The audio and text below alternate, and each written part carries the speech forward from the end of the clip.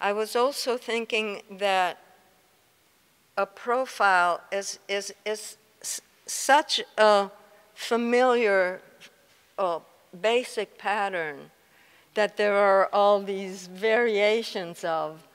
Um, that perhaps when you would hear, if we really listen, we'll hear that.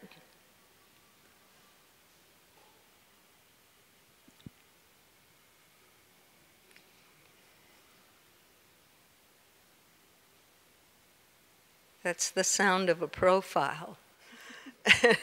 and I thought that we're so familiar with this pattern that maybe when hearing it, you'd have a subliminal sense of a face, and that that face would almost have a ghost presence, um, that you would recall the presence of somebody by playing the tune of their particular profile.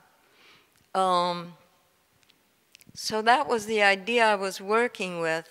And, and uh, at first, I, I asked someone who was working with computers back then, and, uh, and um, he said, you, you don't just feed a profile into a computer and come out with a tune, you have to have a um, program, and it's, it's very complicated to do it. So, um, so I, I went to some stores where I could find a little motor, and I went to a store where I could find some rollers for printers, and, and uh, I got hammer and nails and, and made that machine that's sitting on the table or on the platform that very slowly rolls these, the, these profiles that I had drawn, it slowly rolls past.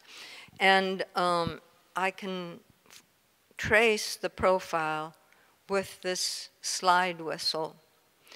Um, there's also a single tone um, that on the score is a line, and it's um, a tone that that I recorded that just it's sort of a medium. It's not very high, it's not very low, but it stays constant. And so that's the zero tone.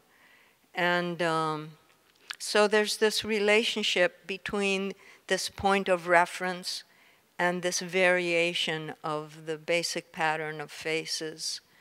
Um, yeah.